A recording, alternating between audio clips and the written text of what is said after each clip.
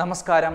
ഇന്ത്യയുടെ എഴുപത്തഞ്ചാം സ്വാതന്ത്ര്യദിനം വിപുലമായി ആഘോഷിക്കാൻ തീരുമാനിച്ച സി പി എം സ്വാതന്ത്ര്യത്തിനു ശേഷം ആദ്യമായാണ് പശ്ചിമ ബംഗാൾ പാർട്ടി ആസ്ഥാനത്ത് ദേശീയ പതാക ഉയർത്താൻ സി പി എം ഒരുങ്ങുന്നത്. ഓഗസ്റ്റ് പതിനഞ്ചിന് സ്വാതന്ത്ര്യദിന പരിപാടികളുടെ ഭാഗമായിട്ടാകും കൊൽക്കത്തയിലെ അലിമുദ്ദീൻ നിരത്തിലെ പാർട്ടി ആസ്ഥാനത്ത് ദേശീയ പതാക ഉയർത്തുക. വിവിധ ജില്ലാ കേന്ദ്രങ്ങളിലും പരിപാടി സംഘടിപ്പിക്കും. ഈ സ്വാതന്ത്ര്യം വ്യാജമാണ് എന്ന മുദ്രാവാക്യം ഉയർത്തി ഏഴ് പതിറ്റാണ്ടിലേറെയായി സി പി എം ഇത്തരമൊരു കാര്യം ചെയ്തു പോന്നിരുന്നില്ല. ഇടതുമുന്നണി നേതാവും മുൻ എം എൽ എയുമായ സുജൻ ചക്രവർത്തി കേന്ദ്ര നേതൃത്വത്തിന് മുന്നിൽ വച്ച നിർദ്ദേശത്തിന്റെ അടിസ്ഥാനത്തിലാണ് പുതിയ തീരുമാനം. ഞായറാഴ്ച നടന്ന പാർട്ടിയുടെ കേന്ദ്ര കമ്മിറ്റി യോഗത്തിൽ സ്വാതന്ത്ര്യദിനത്തിൽ ദേശീയ പതാക ഉയർത്താനുള്ള നിർദ്ദേശം കേന്ദ്ര കമ്മിറ്റി അംഗീകരിച്ചുവെന്ന് സി പി എം വൃത്തങ്ങൾ അറിയിച്ചതായി വിവിധ ദേശീയ മാധ്യമങ്ങൾ റിപ്പോർട്ട് ചെയ്തിരുന്നു. ഇടതുപക്ഷത്തിന് സ്വാതന്ത്ര്യ സമരത്തിൽ മഹത്തായ പങ്കുണ്ടെന്ന കാര്യം ഊന്നിപ്പറയാൻ കൂടിയാണ് ഇത്തരമൊരു നീക്കം. സ്വാതന്ത്ര്യ സമരത്തിൽ കമ്മ്യൂണിസ്റ്റുകൾക്ക് മഹത്തായ പങ്കുണ്ട്. പക്ഷേ രാജ്യത്തെ സ്വാതന്ത്ര്യ സമരത്തിൽ ഇടതുപക്ഷത്തിന്റെ പങ്കിനെതിരെ സംഘടിതമായ പ്രചരണമുണ്ട്.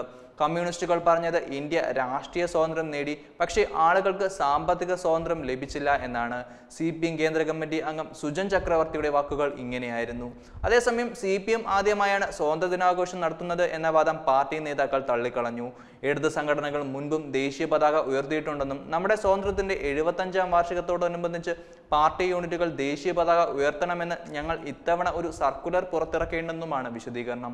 തങ്ങൾ സാധാരണയായി സ്വാതന്ത്ര്യദിനം ആചരിക്കുന്നത് ഫാസിസ്റ്റ് ശക്തികളാലും വർഗീയ ശക്തികളാലും രാജ്യം അഭിമുഖീകരിക്കുന്ന പ്രശ്നങ്ങളെക്കുറിച്ചും അപകടങ്ങളെക്കുറിച്ചും ചർച്ചകൾ നടത്തിക്കൊണ്ടാണ് ഇത്തവണ കൂടുതൽ വിപുലമായി നടത്തുമെന്നും പാർട്ടി വൃത്തങ്ങൾ വ്യക്തമാക്കി.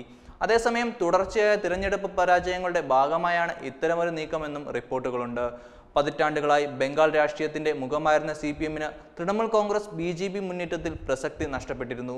പൂർണമായും മാറ്റി നിർത്തപ്പെടുകയും ചെയ്തു. രണ്ടായിരത്തി പത്തൊമ്പത് ലോക്സഭാ തെരഞ്ഞെടുപ്പിലും രണ്ടായിരത്തി ഇരുപത്തൊന്ന് നിയമസഭാ തെരഞ്ഞെടുപ്പിലും വളരെ മോശം പ്രകടനമായിരുന്നു സി പി എമ്മിന്റേത് ചൈന ക്യൂബ വിയറ്റ്നാം എന്നീ രാജ്യങ്ങളോട് കൂടുതൽ സഹാനുഭൂതി പുലർത്തുന്ന മാർക്സിസ്റ്റ് പാർട്ടിക്ക് ദേശീയ മൂല്യങ്ങൾ നഷ്ടപ്പെട്ടതായ ആരോപണം രാഷ്ട്രീയ എതിരാളികൾ ഉയർത്തുന്ന സാഹചര്യത്തിൽ ഇതിനുള്ള മറുപടി കൂടിയാവും ഈ നടപടി.